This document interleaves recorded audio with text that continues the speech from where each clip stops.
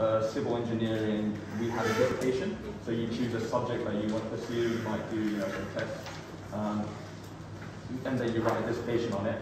Uh, mechanical engineering at my university, which is University of Bath, was more of a It's so detailed. a bit too design. Sam, what do you think?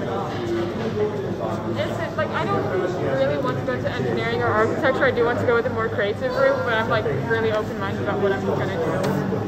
What do you think? Is this inspiring you to do more work on your IA? Yeah. Pretty cool. getting new ideas from, from my Is this like part of architecture? It's like so professional.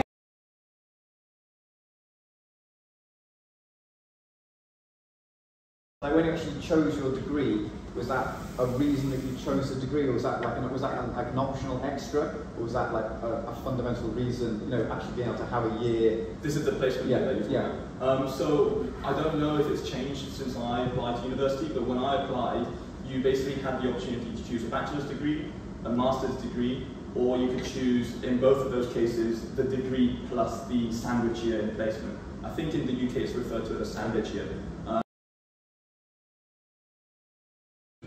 um, thing, a project within CAS. I think it was about um, waste and pollution and plastic waste in, in, in particular, um, where we basically got a lot of recycled plastics and we made um, sculptures out of them into like sea turtles.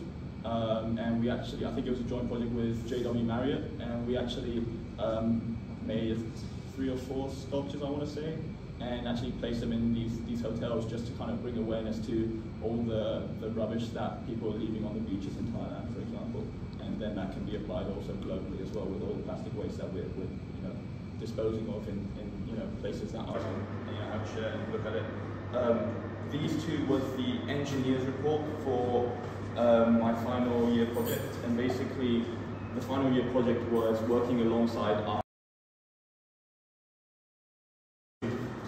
What's the workload expected of you when you get to university? Is it on par with what you do now? And then we'll finish off, keep the questions on your living accommodations on the end. So we do the academic questions first, because I'm sure you've all got questions on what's my life going to be like at uni. You can answer them as well, but let's keep it academic, we'll do it in two stages.